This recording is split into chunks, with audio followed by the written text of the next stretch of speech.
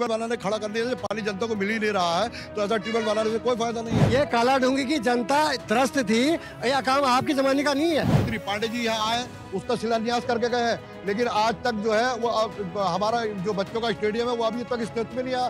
कि ये फ्री ला कहाँ से रहे हैं? ये हमारे टैक्स का पैसा हमको दे रहे हैं क्यों मार रहे हैं फ्री? समस्याएँ ही समस्याएँ अभी ये सड़कों का जाल गिना रहे थे वो कहाँ है वो जाल? वो एक तो जुमलों का जाल। पाँच साल में आप बार बार कांग्रेस के ऊपर टोपी करते हैं, इक्कीस साल उत्तराखंड को बने हुए हो गए हैं। हर साल आपका घोषणा पत्र आता है। कितने घोषणा पत्र आपने पूरे कर दिए? विधायक बीजेपी का, सांसद बीजेपी का, मुख्यमंत्री बीजेपी का, और प्रधानमंत्री बीजेपी का। उसके बाद अस्पताल का निर्माण क्यों नहीं हुआ? यह कालाडूँगी जनता पूछती है आपसे।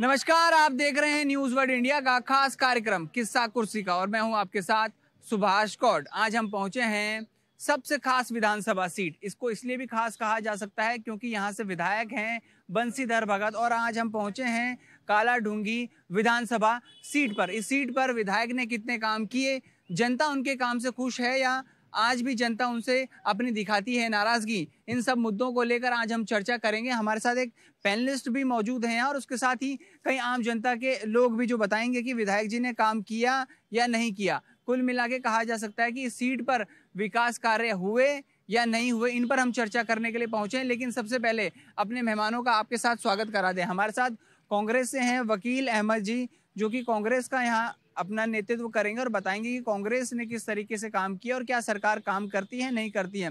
साथ ही बीजेपी से हमारे साथ यहाँ है तारा पांडे जी, जो बताएँगे कि विधायक जी ने कितने काम किए या फिर जो नाराज़गी है वो क्यों है। उसके साथ ही नई पार्टी, आम आदमी पार्टी पहली बार चुनाव लड़ रही है इस विधानसभा सीट पर और उत्तराखंड में। तो विनोद तिवारी जी भी हमारे साथ इस कार्यक्रम में शामिल होंगे। साथ ही आम जनता भी हमारे साथ शामिल होगी, जो बताएगी कि आखिरकार क्या मुख्य समस्याएँ इस विधानसभा सीट की हैं? लेकिन शुरुआत करेंगे सबसे पहले सत्ताधारी पार्टी से और बीजेपी से पूछेंगे कि इस विधानसभा सीट पर कितने काम उनके विधायक जी ने किए और क्या वो काम जनता के लिए है या नहीं है? सबसे पहले तो सर ये बताइए कि विधायक जी के क्या बड़े काम हैं?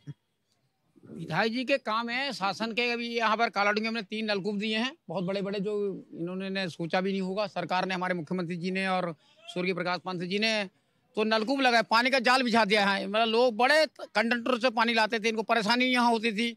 हमने सरकार से पहले कहा था कि पानी पेयजल समस्या का हमने समाधान कर दिया इनका। भूतपूर्व पचास साल तक इनको सोचना नहीं पड़ेगा।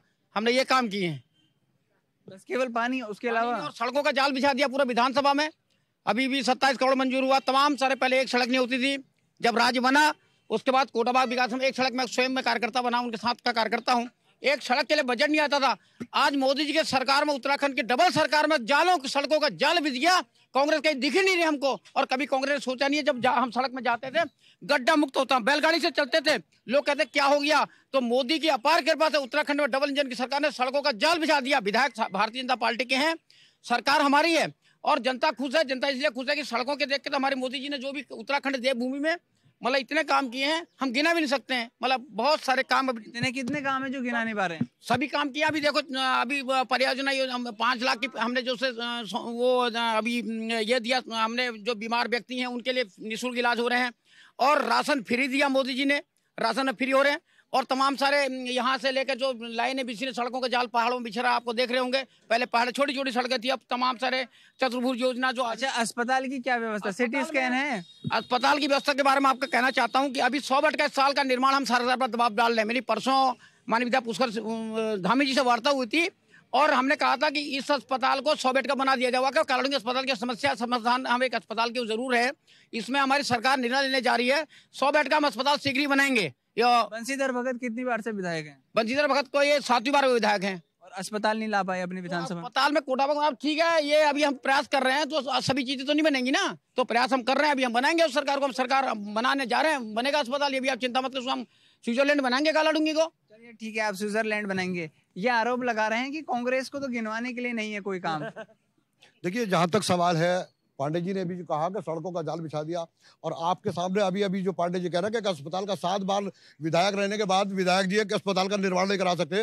अब कह रहे हम सौ बेड का, सौ बेड का जो हॉस्पिटल देंगे, कब देंगे? जब यहाँ की जनता यह, ये रेफर सेंटर बनकर रह गया, काला डूँगे का हॉस्पिटल यहाँ से जो भी छोटी छोटी समस्या के अगर कोई भी परेशानी हो जाती है एक्सीडेंट वगैरह हो जाते हैं यहाँ से जो है पर्यटक हमारे जो है, ये घूमने के लिए नैनीताल आते हैं और वहाँ अगर एक्सीडेंट वगैरह कोई हो जाते तो उनको यहाँ हॉस्पिटल लाया जाता तो वहाँ सिर्फ़ यहाँ रेफर सेंटर बना दिया गया, सीधे हल्द्वानी या बाजपुर इधर उधर भेजा जाता कोई विकास नहीं हुआ पाँच सालों में यहाँ। विधायक जी ये कह रहे सड़कों का जाल बिछा दिया, पानी के लिए बात कर रहे हैं, पानी की बात अभी कर रहे हैं, आप हॉस्पिटल बस्ती के अंदर जाकर आप मालूम करें कितना पानी बस्ती के अंदर आ रहा है। हम देखा, ये ट्यूबवेल बना तो दिया, लेकिन एक ट्यूबवेल यहाँ ईदगाह के पास बना है, उसका पानी जो है सिर्फ़ बाज़ार बाज़ार के अंदर है, बस्ती के अंदर उसका पानी नहीं है। हमने जब उनके विभाग वालों से बात करी कि भाई ट्यूबवेल चालू हो गया, इसका पानी बस्ती वालों को कब मिलेगा? तो उन्हें भाई ये ट्यूबवेल का पानी बस्ती वालों को नहीं मिलेगा, ये सिरे नीचे नीचे जाएगा, ऊपर इसका पानी चढ़ ही नहीं पाएगा। तो क्या ट्यूबवेल बना दिया? ट्यूबवेल बनाने खड़ा कर दिया पानी जनता को मिल ही नहीं रहा है तो ऐसा ट्यूबवेल बनाने से कोई फ़ायदा नहीं है। चलिए, ट्यूबवेल बनाने से कोई फ़ायदा नहीं है, आम आदमी पार्टी से जानेंगे। सर, आपने सुने दोनों ही दल, उत्तराखंड में राज कर चुके हैं, लेकिन एक दूसरे पर आरोप लगाते हैं। आप लोगों का क्या स्टैंड रहेगा? देखिए, हम राज्य में पहली बार चुनाव लड़ रहे हैं उत्तराखंड के अंदर और आपने खुद देखा कि ना तो पांडे जी के पास कोई सॉलिड जवाब है, ना कांग्रेस के पास तो अब कुछ है ही नहीं, वो तो कहें हमको माफ़ कर दिया हमने उनको। जहाँ तक अभी पांडे जी ने कहा, सड़कों का जाल बिछा दिया, वो सड़कें कहाँ हैं पता नहीं जिस जगह पर हम बैठे हैं, आप देखिए कि कितने गड्ढे इस सड़क पे हैं। पिछले पाँच साल से इस सड़कों को गड्ढा नहीं भर पाए। आप कह रहे हैं गड्ढा मुक्त कर दिया। किसको गड्ढा मुक्त कर दिया आपने, ये नहीं पता। और दूसरी बात है, जहाँ तक समस्याएँ हैं, आपने खुद कहा कि कितने सालों से बंशीधर भगत जी, माननीय बंशीधर भगत जी, यहाँ के विधायक भी हैं, यहाँ से मंत्री भी रहे हैं, इस भाजपा के जो है प्रदेश अध्यक्ष भी रहे हैं। इतने पावरफुल विधायक होने के बाद भी काला डूँगी की हालत राज्य बनने से पहले से भी बदतर हुई है। अगर ये नहीं हुई है तो यहाँ की जनता सामने बैठी है वो जान सकती है समझ सकती है। ये जनता से ही पूछते हैं कि आखिरकार क्या स्थिति है। सर आप बताइए क्या समस्या है? तीनों राजनीतिक दल आपके सामने किससे सवाल पूछेंगे आप? मैं जो सत्ताधारी जो दल है इस समय वर्तमान में उनसे जवाब पूछना चाहूँगा कि पूरे जो पाँच साल का जो कार्यकाल भारतीय जनता पार्टी का रहा है उसमें साढ़े चार साल इन्होंने जो है बिल्कुल चुप बैठे रहे। अब जो अभी जो इलेक्शन आने वाला है क्या इलेक्शन के चलते ये लोग ये जो अपने जो अभी कार्य कर रहे हैं जैसे अभी उनके प्रतिनिधि पांडे जी ने कहा कि हमने सड़कों का जाल बिछा दिया ठीक है? अ, कुछ अ, कुछ लोगों के मुँह से ये सुनने को मिलता है कि माननीय विधायक जी के यहाँ अगर कोई जाता है तो वो उनसे अगर किसी भी चाहे पुलिया हो चाहे सड़क हो किसी के बारे में अगर मांगते हैं तो ये कहते हैं कि तुमने हमने को वोट थोड़ी दिया। तो इस तरह का इनका आज तक ये रहा है। लेकिन जो वर्तमान में जो अभी सरकार है ये साढ़े चार साल सोई रही। और जब अभी इलेक्शन मोड आया है तो ये साढ़े चार साल अभी ये जो चार पाँच जो महीने हैं तब से काम शुरू हुआ है। मैं ये पूछना चाहता हूँ क्या ये इलेक्शन के लिए आप ये कर रहे हैं? केवल चुनावी चुनावी स्टंट है आप लोगों का। आपके विधायक कहते हैं कि आपने हमें वोट नहीं दिया तो आपके क्षेत्र तो में काम नहीं जनता है ना मैं प्रतिनिधि मेरे पास कोई आएगी कितनी बार बातें हो जाती हैं ये कहना गलत है। अभी आपने देखा हमने अभी यहाँ पे ओवर ये निर्माण किया है ना कालू की जनता कितनी परेशान थी। मोदी सरकार में चल रहे होंगे, इनको खुद, इनको गोयल साहब को पता है कि मैं जा रहा हूँ गाड़ी से, आज वो उसका पुल का निर्माण, ये नहीं कह रहे कि पुल का निर्माण हुआ। हाँ तो ये हमने पुल का निर्माण किया, नहीं, वो ठीक है, आप कहेंगे। तो आसान नहीं किया। ऐसा है? ये एहसान नहीं कर रहे आप? आप ये जताना की कोशिश कर रहे हैं? नहीं, आप ये जताने की कोशिश कर रहे हैं कि आप एहसान कर रहे हैं? ये काला डूँगी की जनता त्रस्त थी, ये काम आपके जमाने का नहीं है। ये आप श्रेय लेने, भाजपा सरकार श्रेय लेने के अलावा कोई काम नहीं करती। बताइए हम कह रहे हैं दाव के साथ हमने काम किया है। हाँ, बताइए। मिनी स्टेडियम का क्या हुआ? जो मिनी स्टेडियम कब कब बनेगा ये? धन अवमुक्त हो चुका है। आप आपने कहा हॉस्पिटल। मेरी बात सुन लीजिए पहले। आप सत्ता के आदमी हैं। सत्ता आपके पास ताकत है। आपके पास सारा पैसा आपके पास है। आप सब कुछ कर सकते हैं। आप जब चुनाव आ गया है दो महीने के बाद चुनाव है आज आप कह रहे हैं कि हमने जो है यहाँ सौ बेड का हॉस्पिटल पांडे जी जनता भी आरोप यही लगा रही है कि चुनावी माहौल में जनता को दिखेगा ना हम सामने जारी कर रहे हैं। अभी हमें भाई साहब ने कहा कि स्टेडियम स्टेडियम में देखिए आप स्टेडियम का निर्माण हुआ है नहीं हुआ है? सुनो स्टेडियम का निर्माण हो रहा है ना? स्टेज में पैसा भी आ गया है। आप पैसा लोग पूछना चाह रहे हैं। आप आपका कोई सवाल सर? मैं मैं भुवन कोहली। सर मैं भुवन कोहली इस कालाडूँगी विधानसभा का आम नागरिक हूँ।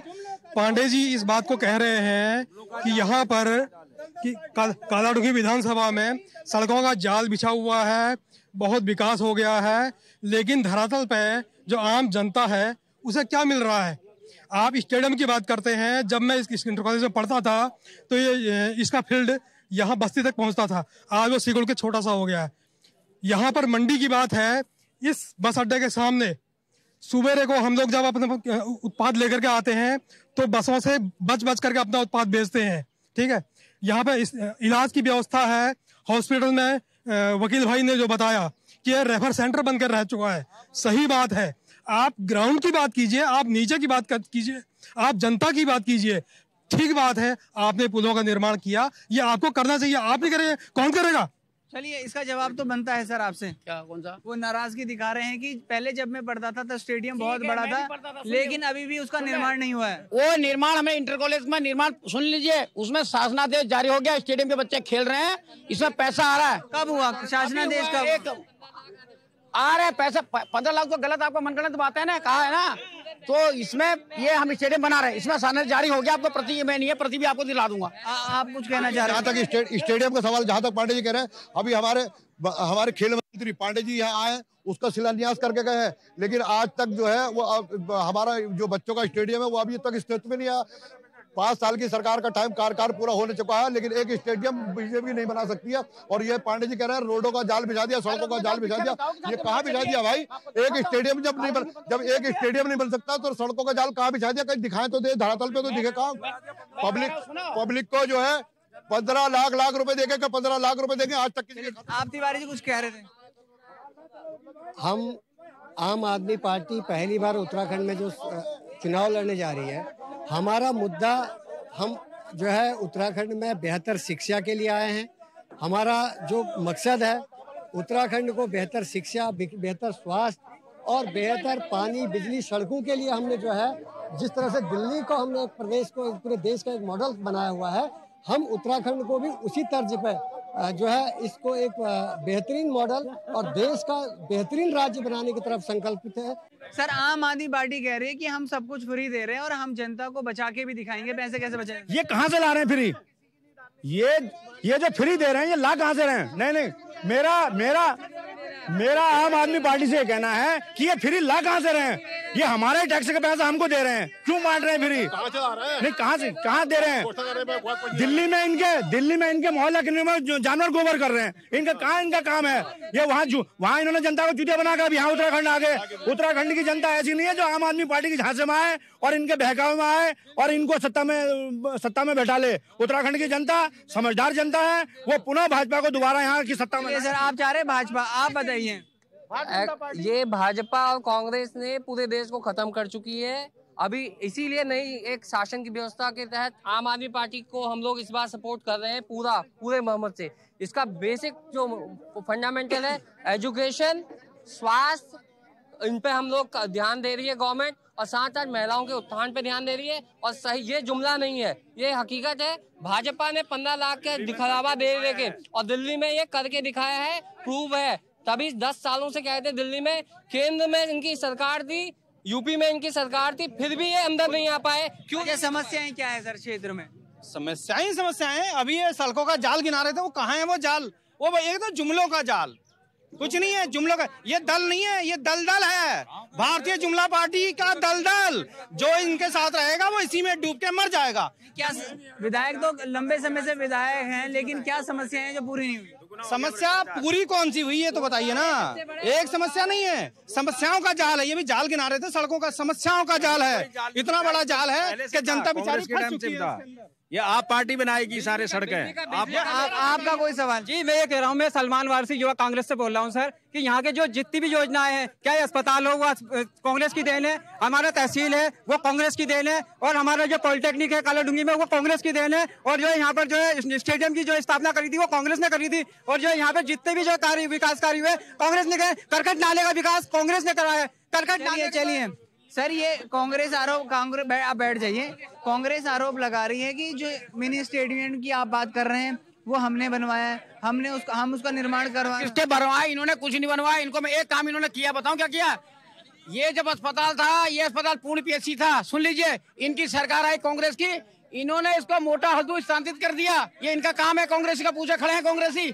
यहाँ दो अस्पताल पूर्ण मैं पूर्ण अस्पताल आज भी हमारे चालीस बेड का अस्पताल हमारे कानून के नाम से पांडे जी ये पहले ये पहले पीएससी था अब सीएससी हुआ। एक ब्लॉक में कांग्रेस ने दो सीएससी दिए जबकि ब्लॉक में और जहाँ तक का सवाल है इसे पैसा आ गया इसे बनाने वाले भारतीय जनता पार्टी है। ये करने वाले क्या है ये? इन्होंने किया होता अस्पताल का निर्माण है ठीक है? ये सीएससी दोनों ये दो सीएससी एक ब्लॉक के अंदर लेकिन सीएससी तो बना लेकिन वहाँ व्यवस्थाएँ नहीं हुई। हम चाहते हैं कि आप लोग आप लोग आपस में ना लड़ें। यहाँ डिबेट का मुद्दा जनता का है आपस में ना लड़ें। सर सबसे पहली चीज़ की आपको लेके तो ये आरोप लग रहे हैं कि आप लोगों ने दिल्ली में क्या काम किया जो यहाँ करेंगे। दिल्ली में उत्तराखंड का हर एक घर का व्यक्ति दिल्ली में है। आप दिल्ली के उस व्यक्ति से पूछिए तो दिल्ली से रह के आया है। वहाँ की सड़कें आप देखिए, वहाँ के स्कूल आप देखेंगे, स्वास्थ्य महकमे को आप देखेंगे, शिक्षा का ये आलम है कि आज हर बच्चा, हर गरीब का बच्चा सरकारी स्कूल में बेहतरीन शिक्षा ले रहा है। मैं आपको एक उदाहरण देता हूँ, मैं कल मैं कल जो है इसी कोटाबाग ज़िले के राजकीय इंटर कॉलेज सौड़ में गया हुआ था तो वहाँ इतना मुझे दुख हुआ, वहाँ के इंटर कॉलेज को देख के कि वहाँ की जो लैब है लैब में जो वहाँ प्रयोगशाला है प्रयोगशाला में बच्चे पढ़ रहे हैं और जो है पूरा प्रयोगशाला की जो बिल्डिंग की जो फर्श है फर्श उधड़ा पड़ा हुआ है अरे आप आप आप अगर अगर आप लोग आपस में लड़ते रहेंगे तो कार्यक्रम नहीं हो पाएगा। आप लोग आपस में ना लड़ें जरा जरा डिबेट को सुनने की कोशिश करें कि आखिरकार आपके प्रतिनिधि क्या कह रहे हैं। एक बार जरा प्रतिनिधियों को भी सुने कि क्या कह रहे हैं। तो सर आप बता रहे थे किसी स्कूल का मामला बता रहे थे। हाँ मैं आज देखिए यहाँ की जनता जो है, यहीं से है, कहीं हम लोग बाहर से नहीं है, हम सब लोग लोकल हैं, इसलिए थोड़ा शांति में रखिएगा। मैं कल कोटाबाग ब्लॉक के शौर इंटर कॉलेज में गया था, अगर मैं झूठ बोल रहा हूँ तो कृपया करके आप शौर इंटर कॉलेज में जाइएगा, मेरे पास फोटोग्राफ भी है। वहाँ का दुर्भाग्य ये है कि वहाँ के जो बच्चे हैं, मैं उनके बच्चों की फ़ोटो भी लेके आया हूँ। आप जो है फर्श में बैठे हुए हैं, प्रयोगशाला के अंदर बैठे हुए हैं, वो लैब उसको कहते हैं लैब है। लैब में कोई सामान नहीं है और फर्श में बैठे हुए बच्चे, मिट्टी पूरा फर्श उखड़ा पड़ा है और मिट्टी उसमें जो है निकल रही थी और सारे बच्चे, इंटर के बच्चे जो है, धूल से सने हुए थे। मैंने कहा, ये धूल क्यों सानी कह रहे साहब? कमरा ही ऐसा है, हम कहाँ बैठे और पूरी धूल, ये हालत है, बीजेपी सरकार जो कह रही है कि हमने विकास का काम किया है, ये उनका विकास दर्शाता है। मैंने बच्चों से कहा, क्यों आप ऐसे बैठे हैं? क्या आपको अधिकार नहीं है कि आप अच्छे स्कूल में पढ़े? अच्छा ड्रेस हो आपका? सर, इसका तो... जवाब ले लेते हैं। सर, इसका जवाब तो जनता भी मांग रही है और वो छात्र भी मांग रहे हैं जो ज़मीन पे बैठे हुए हैं। सर ज़मीन में बैठे हैं वैसे बैठे नहीं होंगे ज़मीन में कहना है मैं देख रहा हूँ क्योंकि पहाड़ में भी शिक्षा का काफ़ी स्तर ऊँचा हुआ है तो सर गिरा है या गिरा है या सुधरा है? बहुत सुधरा है पहाड़ में। पहले एक कॉलेज नहीं होता था प्राइमरी टीचर होता लोग दस किलोमीटर जाते थे आज तो इंटर कॉलेज हर दस किलोमीटर में आठ किलोमीटर आम आदमी पार्टी झूठ बोल रही है। आप बड़े झूठी बोलने का काम इनका और काम ही क्या करते हैं लोग आम पार्टी वाले? हर कभी सच बोले दिल्ली का हालत देखे चलो वहाँ दिल्ली में एक स्कूल बना दिया सब मैंने स्कूल बना दिया हमने दो इंटर कॉलेज दिए अंग्रेज़ी मीडियम के बेल पढ़ाओ दिया इंटर कॉलेज दिए तो ये अपनी बात ही करेंगे। ये जनता को गुमराह जुलवे यहाँ लेके आ रहे हैं। इनका बस का कुछ नहीं है। मैं आज विश्वास आपको दिला रहा हूँ। भाई को धन्यवाद दे रहा हूँ। इन्होंने बताया, हम इंटर कॉलेज करेंगे। हमने निर्माण कार्य किया हमने उस बच्चों को पढ़ाने के लिए बहुत कुछ किया है। आप आए थे, उन्होंने जो देखा था, लाल कुआ के पास जो स्कूल है, वो स्कूल दिखाया था। जो है ईंटू के उस पर ब्लैक बोर्ड लगा हुआ है। बाहर से जो है, ये देखिए सर, ये सौर इंटर कॉलेज है प्लीज़ ये देख लीजिए आप। ये सौर इंटर कॉलेज है ये बच्चे हैं। ये काला ढूँगी का कोई इंटर कॉलेज है उसकी ज़मीन है जहाँ बच्चे नीचे बैठते हैं और आप देख सकते हैं कि इसकी स्थिति बहुत ज़्यादा खराब है। सर आप भी देखिए इसको। हाँ क्या? ये ज़मीन में मिट्टी लगी हुई है बच्चे यहीं बैठ रहे हैं नीचे। अरे भाई साहब यार हम तो मिट्टी पे यहाँ से ना रहता मिट्टी का ही काम होता है ना। वो कहीं चटाइयाँ होंगी कहीं वो अपने बेंच नहीं होंगे स्कूल में। बेंच भी होती है कई छोटे बच्चों के लिए बेंच होती है बेंच ये तो बड़े बच्चों की बात बता रहे हैं। नहीं नहीं ये इनका कहना गलत है ये सब गलत कह रहे हैं। वहाँ निरीक्षण किए ना। ये तो मना कर रहे हैं वैसे वो कह रहे हैं झूठ बोल रहे हैं आप लोग। मेरे साथ चलिए आप मेरे साथ चलिएगा। मैं आपको मेरे कल की फ़ोटो है इसको दिखाइएगा कल की फ़ोटो है। मेरी सर आप मेरे साथ चलिए आप पत्रकार हैं आप जागरूक पत्रकार हैं आप यहाँ के इंटर कॉलेज को चलिए यहाँ तो छोड़िए आप ये काला ये सर ये सर कल की फ़ोटो है। ये देख। हम एक स्कूल मैं गया हूँ वहाँ भी मैं वहाँ भी गया हूँ सर। ये सर ये इसका लैब है लैब में बच्चे बैठे हैं। ये कल का स्कूल है डेट इसको पड़ी होगी सर। ये देखिए बाईस बारह। बाईस बारह दो हज़ार इक्कीस। ये ब्लैक बोर्ड पर डेट पड़ी है और आप देख सकते हैं ये इनका आपके क्षेत्र का लैब है स्कूल का। तो क्या स्थिति स्कूल की है शिक्षा की? तो लैब टेक्शन बताएगा ना है या नहीं है? अगर ये कौन होते बताने वाले? मैं कौन होते बताने वाला? ये कोई इंजीनियर नहीं है ना? सुनो ये कोई इंजीनियर तो नहीं है? ये तो जो मैथमेटिक्स टीचर वो बता चलिए ठीक है आप अपनी बात मानने के लिए तैयार नहीं है। आपका कहना है कि आपका कहना है कि ये सही है या नहीं है उसकी हम पुष्टि नहीं करते हैं। सर आप आपका किसी राजनीतिक दल से कोई सवाल? कोई सवाल आपका राजनीतिक दल से? देखो राम मेरा सवाल है देखो। दो साल से पूरे देश को या उत्तराखंड को कोरोना ने बंधक बना रखा है ठीक है? जिसमें ने सरकार को सरकार को काम करने का मौका नहीं मिला। पता है आपको, पूरा लॉकडाउन लगे हुए अभी देखो, उत्तराखंड में काम हो रहा है अच्छा काम हुआ है। ये आप वाले दिल्ली से आके यहाँ पर एक घोषणा दो, तीन घोषणा आज बताइए आप, तीन सौ यूनिट बिजली फ्री देंगे ये, ठीक है? और पाँच हज़ार पाँच हज़ार रुपये ये मतलब बेरोजगार कहा बता देंगे। ये बताओ, ये बेरोजगार का नापे का तरीका है? सरकारी नौकरी जिसके पास सरकारी नौकरी है वही रोज़गार है बाकी बेरोजगार है क्या बेरोजगार सबके धंधे अपने काम आम आदमी पार्टी पसंद नहीं आपको? सर मेरे को तो कोई पार्टियाँ पसंद नहीं है। जो जो पार्टी सैनिकों से गोली के गोलियों का हिसाब लेती है सर्जिकल स्ट्राइक का हिसाब लेती है क्या वो आगे को विकास कर सकती लेकिन कर्नल साहब तो सेना में थे और वो कह रहे हैं हम सीएम बने। को भी प्रलोभन दिया गया है। उसी प्रलोभन से यहाँ आए। नहीं क्या क्या कहा गया? कर्नल कोठियाल जी को भी प्रलोभन दिया गया है। बिना प्रलोभन के वो यहाँ नहीं आए। आप बताइए, कितना बदलाव देखते हैं आप बीजेपी और कांग्रेस की सरकार में? देखिए, बात जो है, बीजेपी और कांग्रेस की नहीं है। हम लोग जो हैं, बचपन से इसी पहाड़ी क्षेत्र से हम लोग बिलोंग करते हैं और विगत तीस साल से मैं क्षेत्र को भी देख रहा हूँ। बदलाव आया है, बहुत अच्छा बदलाव आया है नो डाउट और पिछले कुछ समय से जब से बीजेपी सरकार है आप ये देखिए कि इंफ्रास्ट्रक्चर पे कितना काम हुआ है। रोड्स बहुत अच्छी हो गए हाईवेज बने हैं, और गली गली मोहल्लों में सड़कें पहुँच गई हैं। फ़ायदा किसको होगा? बिज़नेस को होगा ना इससे। तो कहीं ना कहीं पे एक टोटल डेवलपमेंट जो है, जो इंफ्रास्ट्रक्चर पे डेवलपमेंट हुआ है, उससे हर किसी को फ़ायदा है। स्कूल्स की जहाँ तक अभी मैं बात सुन रहा था तो देखिए, एक आध एक्सेप्शन हर जगह हो सकते हैं। अगर आम आदमी पार्टी की बात कर रहे थे तो उसमें एक सिंपल सी बात है कि दिल्ली में भी हर गली मोहल्ले में हर हालत अच्छी नहीं है। जो उन्होंने मोहल्ला क्लिनिक की बात करी वो सब बंद हो चुके हैं। तो वो दिल्ली वाला कॉन्सेप्ट आप इस पहाड़ी क्षेत्र पे नहीं ला सकते। हैं दिल्ली वाला कॉन्सेप्ट नहीं ला सकते। लेकिन सर ये लोग तो आपको अपना विरोधी ही नहीं मानते वो कह रहे हैं कि कांग्रेस पार्टी तो हमसे कहीं टक्कर ही नहीं लेती चुनाव में। नहीं देखिए ऐसा जहाँ तक ये तो इलेक्शन है इलेक्शन में कोई कहता है मेरी उसकी टक्कर है मेरी उससे टक्कर है। जहाँ तक है बीजेपी की सरकार हो गई डबल इंजन की सरकार है। उसमें महँगाई, देखिए आप क्या चरम, कितने चरम पर पहुँच चुकी है आज। बेरोजगारों को रोज़गार देने का वादा इन्होंने किया था, बेरोजगार आज हमारे नौजवान भाई बेरोजगार फिर रहे हैं। बीजेपी की सरकार ने नौजवानों को कहाँ रोज़गार दिया? कौन सा रोज़गार दिया? आज जहाँ सिलेंडर की, गैस सिलेंडर के देख लीजिए आप, क्या रेट है? नौ सौ तीस रुपए का सिलेंडर पहुँचा दिया। चलिए, महँगाई को लेकर ज़रूर सभी लोग परेशान होंगे, लेकिन इस पर सवाल का जवाब लेना बहुत ज़रूरी है। सर, महँगाई का जो दर है वो बहुत अधिक बड़ा है, ना केवल उत्तराखंड में, बल्कि पूरे देश में। आपकी डबल इंजन की सरकार थी लेकिन उसके बाद भी जो पेट्रोल है सौ के पार पहुँचा। सब्ज़ी दाल महँगी सब चीज़ें महँगी। कब आप लोग इसे कम करेंगे? करेंगे भी नहीं। नहीं सर हमने सरकार ने काफ़ी नियंत्रण किया है। पेट्रोल में भी अभी पाँच छह रुपए घटा है आपको पता ही है। अब नहीं पेट्रोल में अभी सौ सौ पर थोड़ी किया है। अब देखो एक व्यक्ति आप देख रहे हो अभी हमने टीचरों का वेतन बढ़ाया। और सुन लीजिए होम गार्डो को हमने अठारह हज़ार रूपए दिया।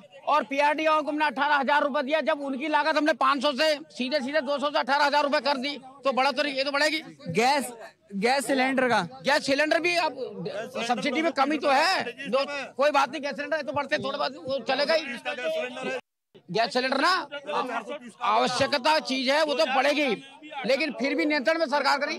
और ये ये नहीं कह रहे हैं सुनो ये नहीं कह रहे पूरे भारत वर्ष में चावल फ्री दिया है नहीं कहने वाले आपके और कांग्रेस के लोग। आप आप आप किस, किसी से सवाल पूछना चाह रहे हैं? मैं दोनों पार्टी से खासकर अभी जो सत्ता में पार्टी भारतीय जनता पार्टी में आपसे सवाल पूछता हूँ। पाँच साल में आप बार बार कांग्रेस के ऊपर टोपी करते हैं इक्कीस साल उत्तराखंड को बने हुए हो गए हैं। हर साल आपका घोषणा पत्र आता है कितने घोषणा पत्र आपने पूरे कर दिए? सबसे मुद्दा जो आँखों से दिखती है सड़कें नहीं है आपके पास रोज़गार नहीं है आपके पास और दोनों पार्टी चोर है मतलब चोर है। और उत्तराखंड में सत्ता परिवर्तन की बहुत ज़रूरी है अगर सोच में परिवर्तन होगा तो सत्ता में परिवर्तन ज़रूर होगा। आम आदमी पार्टी को एक बार मौका ज़रूर देना चाहिए। सर आप दोनों को तो ये कह रहे हैं कि आप दोनों ने कोई काम ही नहीं किया। देखिए चोर कहने का ज़्यादा सवाल है ये तो ये तो आप जनता है कहते रहते हैं ये तो आप बीजेपी ने जो है ये कह रहे हैं कि फ्री राशन बांट रहे हैं ये तो इलेक्शन पीरियड है लॉलीपॉप है दो दो किलो तीन तीन किलो चावल देके लोगों को। ये कोई ये ये ये ये ये कह रहे चोर है ऐसा कुछ नहीं है। कांग्रेस ने साठ साल में सब कुछ दिया है। आज चार साल में बीजेपी ने सब कुछ बेच दिया है। ये इतनी बड़ी उपलब्धि कह रहे हैं? आपने सब कुछ बेच दिया है। क्या कह रहे कांग्रेस कह रही सब कुछ बेच दिया आप अरे ये बताओ कांग्रेस कह रही है हमने सब कुछ बेच दिया। सुनो कांग्रेस ये क्यों नहीं कह रही उत्तराखंड राज्य भारतीय जनता पार्टी ने बनाया इनकी लाश पर बनने वाला राज्य बनाया लड़कों रोज़गार दिया पुलिस के नौजवानों को भर्ती किया ये हमने किया है ना? ये तो कहते ही है। रोज़गार कहाँ मिला है? नौजवान हमारे बेरोजगार इनकी हिम्मत ये इनके कहते थे लाश पर बनेगा। मानी तिवारी जी थे ना। हमने सुनो अभी हमने साढ़े सत्रह सौ भर्ती पुलिस के निकाली है। पुलिस की भर्ती निःशुल्क खंडित सरकार में पुलिस के नौजवान फ्री भर्ती हुए। एक पैसा हमने लिया। ये कांग्रेस के घोटाले घोटालेबाज से इनके साल के अंदर जो कांग्रेस ने दिया वो बीजेपी ने दिया नहीं बीजेपी ने बेचने के अलावा किया क्या है? पूरे देश का बेच लगा दो। किसी मंत्री पर आरोप लगा तो कोई पैसा लिया तो घोटाला नहीं हुआ? कांग्रेस में घोटाला घोटाला। एक आखिरी स्टैंड ले लेते हैं सबसे एक आखिरी स्टैंड ले लेते हैं। सर ये आप आप केवल आग- अच्छा, जी जी। पहले मैं जवाब देना चाहूँगा। ए, नहीं, नहीं, नहीं। जी जी बोलिए बोलिए बोलिए। सर आप बोलिए। मैं जवाब देना चाहूँगा उस भैया की बात का जो कह रहे कि सड़कें नहीं है वो नहीं है। बीजेपी गवर्नमेंट ने सारी बात आप एक कोने पे करी है। पूरी इंडिया में सड़कों का जो नेटवर्क इस बीजेपी गवर्नमेंट में वो कहीं नहीं हुआ है। हाईवेज इतने हाईवेज हो गए हैं। अब क्या बात करते हैं? किस दुनिया में रहते हैं ये? हैं? सिर्फ़ बुराई करने के लिए बुराई कर रहे हैं? आप नेटवर्क देखिए सड़कों का जाल बिछ चुका है पूरी इंडिया में। और वैसे भी अगर मैं देखता हूँ तो मैं देखता हूँ कि हर गली मोहल्ले में सड़कें पहुँच गई हैं। क्या बात कर रहे हैं? सिर्फ़ बुराई करने के लिए बुराई करते हैं? विधायक बीजेपी का सांसद बीजेपी का मुख्यमंत्री बीजेपी का और प्रधानमंत्री से बीजेपी का उसके बाद कालाडूँगी अस्पताल का निर्माण क्यों नहीं हुआ? यह कालाडूँगी जनता पूछती है आपसे। आप मुझे एक बात बताइए चांदी जी पांडे जी क्या काला डूँगी? कालाडूँगी कालाडूँगी की जनता के साथ सौतेला विवाद क्यों हुआ आज तक? इस समय हम सौ बेड का अस्पताल का निर्माण कैबिनेट बना रहे हैं इसको। ये कह रहे हैं कि आप मैं कह रहा हूँ भारतीय जनता पार्टी को काला कालाडूँगी से क्या चाहिए? काला कालाडूँगी से भारतीय जनता पार्टी को काला कालाडूँगी की जनता ने नगर पंचायत में भी बिठाया और उसके बाद विधायक भी बिठा- बनाया। सांसद भी बीजेपी का है और कांग्रेस राज्य में सरकार आप खुद बताइए किसकी है? हमारे सब ठीक। और उसके बाद केंद्र में सरकार किसकी है? मांग मांग क्या है मांग? मांग मेरी सिर्फ़ यही है भारतीय जनता पार्टी के सभी कार्यकर्ताओं से मेरे छोटे बड़े भाइयों से मैं कह रहा हूँ साथ मिलकर मेरे साथ आवाज़ उठाए कि जो अस्पताल है इसमें बीजेपी के कांग्रेस के लोगों का इलाज नहीं होता। इसमें कालाडूँगी में जो लोग ले रहे हैं हमारे छोटे बड़े भाई लोग उन्हीं का इलाज इस अस्पताल में होगा। क्यों ना मेरे साथ मिलकर तुम इस अस्पताल की आवाज़ उठाते हो? आते हो अपने चार नेताओं की बड़ी बड़ी बात करके चले जाते हो। तब कौन सी उठा ली? ये ये इनके उन, उन, उनको अस्पताल चाहिए अस्पताल। उठा रहे हैं। अभी देखो ना इसका परसों मुख्यमंत्री जी आएँगे। परसों मुख्यमंत्री आने वाले हैं हो सकता है उनकी कोटा मैं उस, यही आने हैं ना। यही कोटाबा का दौरा है। पहली समस्या हमारी लड़ूँगी एक अस्पताल रखे उसका निर्माण करा रहे हैं। हमें हमारा दुख है ये हमारी जनता है। आप ये बताइए कब तक अस्पताल बनेगा ये पूछ रहे हैं। अस्पताल बनेगा इस सत्र में। व्यवस्थाएँ बन जाएगा? अभी बनी जाएगा बनने वाला कब तक कब तक। अबे जब देखो। अभी हमने अस्पताल का कितने साल लगेंगे इसे बनने? अरे साल क्या बजट एक साल में हो जाएगा निर्माण? एक साल में हो जाएगा। आप आपका सर आप आपकी सरकार आती है आपका क्या स्टैंड रहेगा? देखिए आज तक जहाँ तक कांग्रेस का सवाल है ये जहाँ यहाँ पे हॉस्पिटल तहसील पॉलिटेक्निक सब कांग्रेस की दे रहे आज मुख्य माननीय मुख्यमंत्री जी घोषणाओं की छड़ी लगा रहे इससे चार पाँच साल होने को है। इससे पहले कहा थे? तो आपके विधायक जीते क्यों नहीं जब आप लोगों ने काम किया तो? हमारे विधायक ने काम किया लेकिन हमारे विधायक जीते हैं लेकिन आपसे वजह से नहीं जीत पाए, किसी कारण हो जाता है, नहीं जीता आदमी, कोई जीतता है, कोई हारता है। अब हमारा विधायक अगर बनेगा कांग्रेस में, कांग्रेस से पहले भी दिए दिए, कांग्रेस ने विकास किया और विकास करेगी कांग्रेस। चलिए तो ये सभी राजनीतिक दल था जिन्होंने कहा कि यदि हमें मौका मिलता है तो हम लोग काला ढूँगी की विधानसभा क्षेत्र में विकास करेंगे और जो व्यवस्थाएँ इस क्षेत्र की जनता को चाहिए, वो हम पहुंचाएँगे। लेकिन देखना होगा कि 2022 में काला ढूँगी में किसका झंडा लहराता है और कुल मिलाकर ये कहा जा सकता है कि अगली बार क्या यहाँ सत्ता परिवर्तन होगा या फिर एक बार बीजेपी यहाँ सरकार बनाती है? तब तक के लिए हमें दीजिए इजाज़त। नमस्कार।